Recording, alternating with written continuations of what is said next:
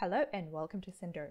In this video, you will learn how to connect payment systems to your accounting for quick reconciliation, automatic data sync, and detailed reporting. In the first part of the video, we will go through the connection steps on the example of Stripe to QuickBooks Online integration. In the second part, we'll cover the general flow of the system, what results you can expect in your books after the sync, and how to set things up according to your specific accounting flow. Once you sign up to Synder, tell us about yourself specify your role in the company, and contact details. Now it's time to set up your first organization. You can connect one accounting platform within one organization. So if you have multiple clients or businesses, set up one of them first and you'll be able to add the rest later on. Check out our knowledge base to learn more about organizations and how to set them up. On the next step, you are to select the accounting system and at least one, or better all, payment platforms your client or business uses. This way, Synder will account for as much data as possible. Click View All Processors to see all of the platforms Synder integrates with and check the needed boxes. To understand the general flow of Synder, check the knowledge base articles on the left. Now let's connect all of the platforms we chose on the previous step. Click Connect, enter credentials if requested, select the needed company from the drop-down, and do the same for payment platforms one by one. Please note that if you're not an account owner, you can request the admin to grant you permissions to connect a certain platform. If you have access to the payment system, simply click Connect. A clearing account for storing all of the transactions from a payment system will be automatically created in your QuickBooks chart of accounts by Synder. So on this step, you are to select your business bank or checking account for smooth reconciliation. We will talk about the reconciliation flow in more detail in just a minute, but you can check the short explanation on how to reconcile transactions in your accounting company in the knowledge base on the left. Click Continue to move on and connect the rest of the platforms. You can connect them right away by clicking Connect or leave them for later. That's it. Now click Create Account and let Synder prepare it for the trial. It's very important to test the synchronization flow first. Check the results in your accounting and make sure all data is recorded correctly.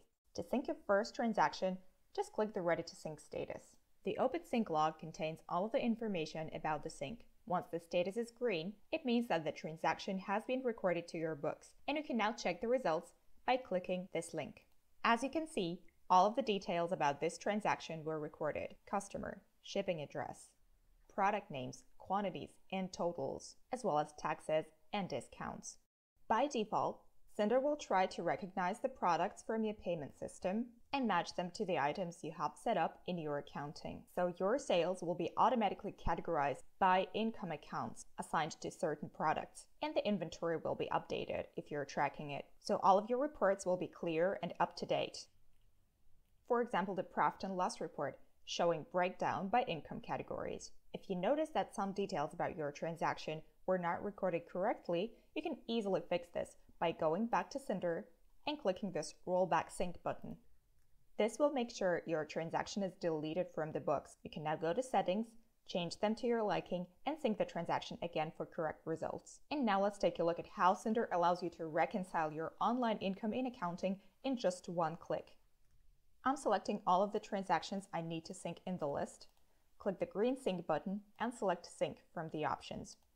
I've selected those transactions because I know that Stripe combined them into one payout and transferred a bulk to my checking account. And now I want to reconcile the payout in my books. So all of the individual sales transactions will be recorded to a clearing account that Synder created automatically in your books. You can find it under Chart of Accounts.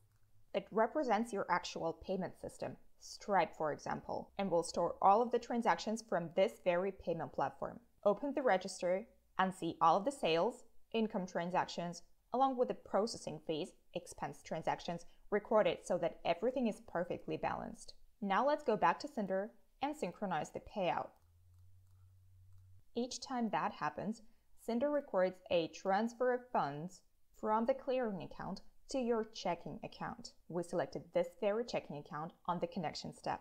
Note that the ending balance of the clearing account may or may not be zero, but it should be equal to the actual balance of your payment system at the moment. This is a great way to check whether the integration is working properly. And if we go to the Banking tab, under the checking account, we will see that the bank feed line has been automatically pre-matched. The transfer that Synder just recorded was found, so the only thing you need to do now is to click Confirm. That's how Synder helps you reconcile your online income in just one click. We understand that each accounting flow is different, and Synder allows you to tailor the syncing process just for your specific needs. Go to Settings, click Configure under the payment platform you want to set up, and check the options that are available there. You can tell Synder to automatically close your open invoices in accounting with the payments that come through payment systems. Depending on how much detail you want to know about your customers, you can have Synder recognize all possible details or set up the generic customer for all transactions. Regarding the product sync, Synder will try to find a match by product name or SKU for a certain item in your books or create a new one if unavailable. But if you don't need that information, enable generic product. Product mapping is another useful feature you can use if the names of your products are different in, let's say, Stripe and QuickBooks, but you need the system to find the match anyways. If you want to record tax details in accounting and file correct tax reports, make sure the Apply Taxes setting is on. Once you've found the best setup option for you, enable Auto Sync, and Synder will work in the background fully automated. There is much more Synder can do, and as you can see, there are a lot of options for customization, but the feature that is really worth mentioning is the Smart Rules. With the help of this functionality, you can tell Synder to record any detail about your transaction in any way you would prefer. We have prepared a lot of templates and categorized them by topics, so check them out, adjust to your specific needs, and make sure Synder works perfectly for you. Another important thing here is that in settings, you can connect as many payment or e-commerce platforms as your client or business needs. Select the needed one from the list and click Connect. Do this for each platform you wish to connect to this organization. Do not worry if you don't see all of your transactions in this list. You can import historical data by clicking this menu option on the left. If you want to manage another client or business in Synder, click the top left corner, select Create Organization, and go through the same steps once more. Now you know how to sign up to Synder, set up organizations for each of your clients or businesses, and run a test to make sure the system is working properly.